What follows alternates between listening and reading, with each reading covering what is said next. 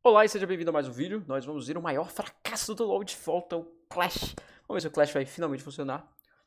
Aqui tá falando que o Clash vai vir na pré-season de 2020, beleza? Então... Esse negócio de pré-season 2020 a gente fica meio... Ei, será que vai vir no começo de 2020 ou no final de 2019? Pelo jeito no começo de 2020, né? Pelo que fala aqui, que é pré-season 2020, não sei, porque começo de 2020 continua como pré-season. Mas vamos lá. Boas-vindas ao Clash, um modo Obrigado. de torneios em equipe do LoL. Dois dias, dois torneios e dois troféus em jogo. Para participar, vocês só precisam ter colocação nas ranqueadas e muita garra. Beleza, só precisa ser ranqueado. Os tiers do Clash se baseiam na média de habilidade da equipe. O nível dos integrantes pode variar, mas ranks maiores puxam o tier para cima. Se tiver quatro bronzes e um desafiante, se prepara para os cachorros grandes.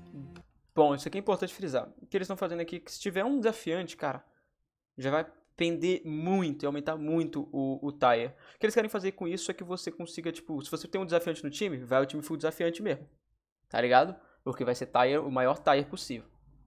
Então eles querem fazer uma média de, de nível dos jogadores, mas aqueles elos, aqueles elos realmente muito altos, eles vão pesar muito mais. É uma estratégia interessante, mas, cara, eles podem fazer negócio celular de novo, que não vai Vai ter Smurf de qualquer jeito, vai ter. A criação de equipe abre uns dias antes do Clash. Forme a sua até as partidas começarem. Não tem como evitar. Quando tiver sua equipe, todos devem confirmar antes de jogar.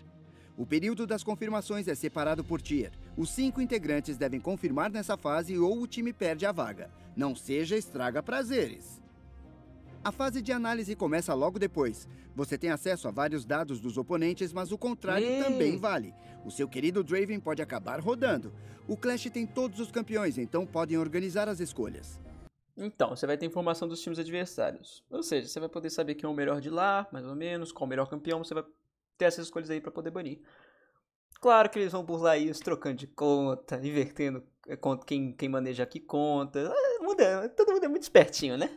Com certeza o pessoal vai pensar em um, um jeito de fazer Cada isso, esse dia esquema é ficar um fraco. torneio e sua equipe pode jogar em um ou em ambos. Quando eu falo assim, são as pessoas que querem realmente, é, tipo, ficar focando nisso. Que nem focavam nos campeonatinhos que, que a Riot faz pra ficar ganhando prêmio. Vocês vão lutar pelo troféu do campeonato numa chave de oito equipes. As chaves são de eliminação única. Se perder uma vez, tá fora. Se perder logo de primeira, sua equipe ainda ganha recompensas nas chaves de repescagem ah, e tá. pode tentar de novo no segundo torneio. Ah, beleza. Entendi. Perder uma vez, você tem outra chancezinha.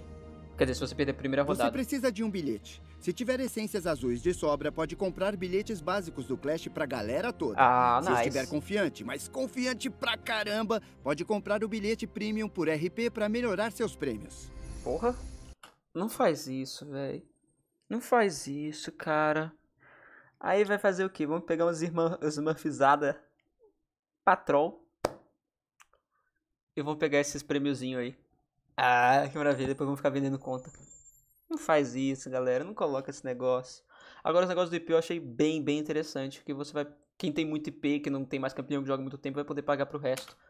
Vai usar esses IP que não serve pra nada. Maravilha. Vença partidas e ganhe pontos de vitória que habilitam novas recompensas, como logotipos de equipe e bandeiras. Legal. No fim do torneio, as recompensas vêm num orb ou cápsula do Clash.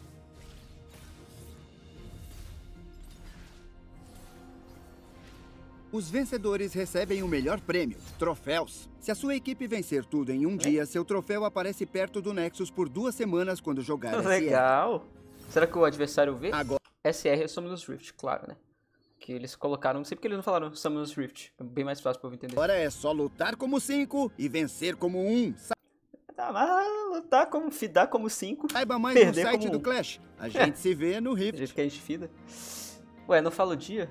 No site do Clash. A gente se vê no Rift. Ok, não fala o dia. Eu tenho o site do Clash aberto aqui. Começar. Ah! Tem que criar uma equipe antes de eu poder saber a data? Aí vocês me trollam. Não, é de 2018. Não, não tem a data. Será que tá na descrição do vídeo e eu trolei?